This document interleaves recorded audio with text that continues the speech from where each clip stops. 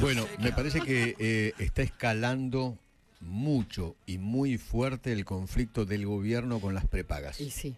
sí, sí. Recordemos, va- vamos a hacer una pequeña cronología.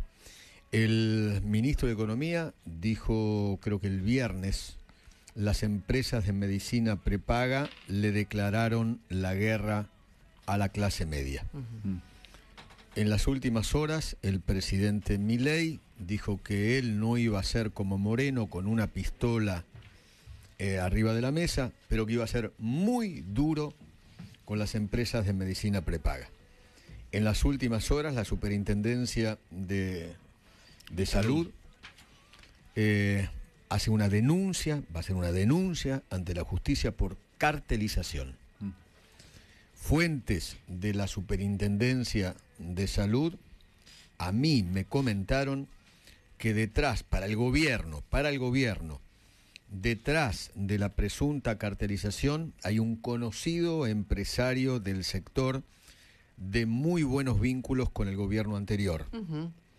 Tan buenos vínculos para el gobierno que durante la pandemia cobró subsidios del Estado al mismo tiempo que expandía su negocio. Mira vos.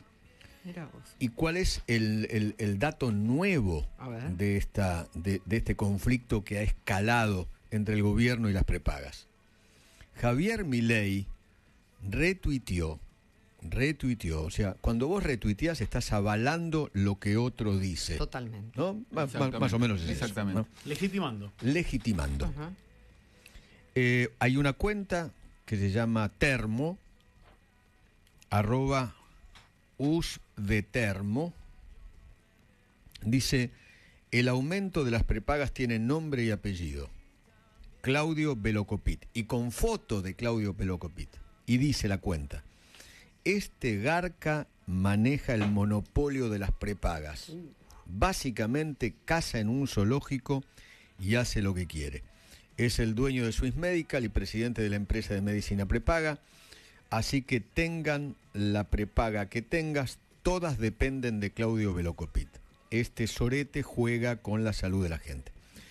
Esto que, que- que escribió esta cuenta fue reposteado, retuiteado por el presidente Milei.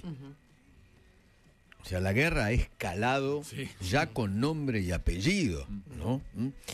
8 y 16 en todo el país.